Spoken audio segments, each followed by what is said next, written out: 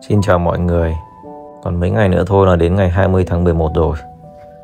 Nhân vào một ngày rảnh rỗi Hôm nay mình đã lên một mẫu bánh hoa Chủ đề Hoa Quỳnh Gửi tới tất cả những người thầy, người cô Trong ngành đào tạo nghề bánh kem. Chúc các anh chị có một sức khỏe dồi dào Có một nguồn sáng tạo bất tận Để sáng tạo ra nhiều tác phẩm đẹp hơn Đào tạo ra nhiều lứa học viên tuyệt vời hơn mang đến chất lượng tốt hơn cho cuộc sống cũng giống như cải thiện ngành bánh của Việt Nam mình. Cuối cùng thì mình cũng ờ, gửi lời chúc tới ờ, chính bản thân mình và chị gái Thanh Nhan ở trung tâm đào tạo bánh Dream Cake. Ờ, chúc chị luôn khỏe mạnh, luôn vui vẻ và gặp nhiều may mắn trong cuộc sống.